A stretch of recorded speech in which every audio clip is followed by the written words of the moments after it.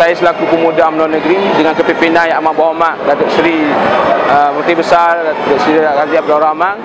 Uh, hari ini cukup padu dan mantap dengan sokongan ke atas Presiden Parti hari ini atas apabila kita mendengar sendiri amanat semalang yang di yang diberi penjelasan daripada uh, Pucuk Pimpinan Parti itu daripada Presiden Parti uh, semua perwakilan memahami tentang isu-isu dalaman, krisis dalaman daripada Presiden Parti dan Timbalan Presiden Parti.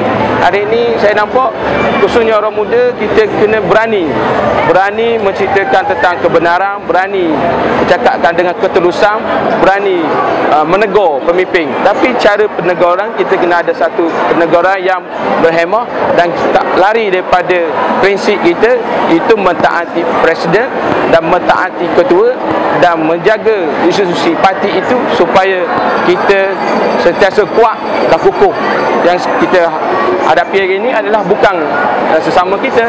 Tapi yang pentingnya adalah kita kena lihat kekuatan kita di peringkat uh, negeri di peringkat pusat dan di peringkat bahagian.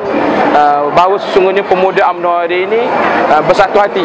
Bersatu hati bersama dengan uh, pengusi perhubungan UMNO Negeri Terengganu Datuk Seri Razif bin Abdul Rahman dan juga menyokong penuh kepimpinan yang amat berhormat Presiden Parti apabila kita mendengar sendiri ucapan yang telah disampaikan semalam kita rasa cukup lapang dada.